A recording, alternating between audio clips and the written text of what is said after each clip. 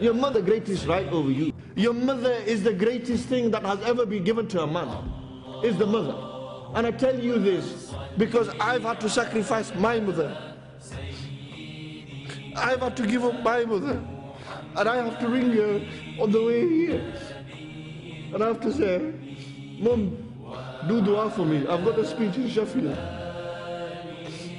Yet you got mothers at home, but you disrespect them.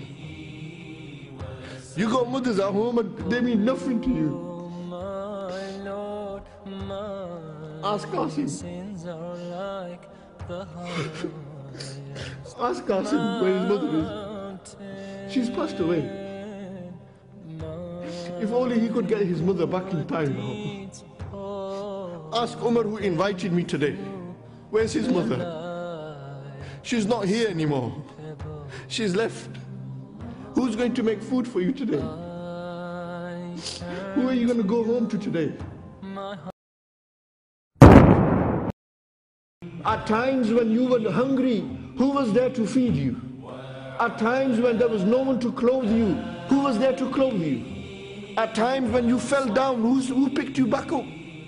Yet this very same mother that we have forgot in today's society, the very same mother that you degrade, this is the sad reality of the day and age we live in. That when you hit the age of 16, 17 years old, you think to yourself, you think to yourself that, yeah, I've achieved something. I'm something big now. You hit university and you think, I'm bigger than my mother and father. We began to degrade and dishonor and be disloyal and disobedient to our mothers and fathers.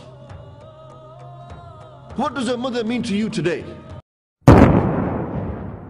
You know, when your mother was there, she was the cushion for you. She was that teddy bear. You've lost respect for your mothers, brothers and sisters. Listen carefully to me. They mean nothing to us, really. Because if they meant something to us, your mother wants you to read Salah, but you don't read Salah.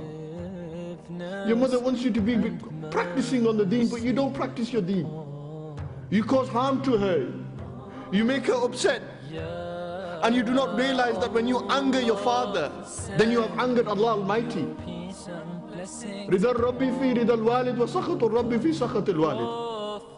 That the, the, pleasure of Allah Almighty lies with the pleasure of, of, of, his, of the Father.